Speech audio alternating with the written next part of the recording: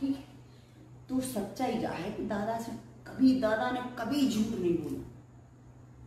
मैं आज स्वयं भगवान के सामने कसम खा के बोल सकती हूँ अपने वित्त परिवार की कि दादा ने कभी झूठ नहीं बोला।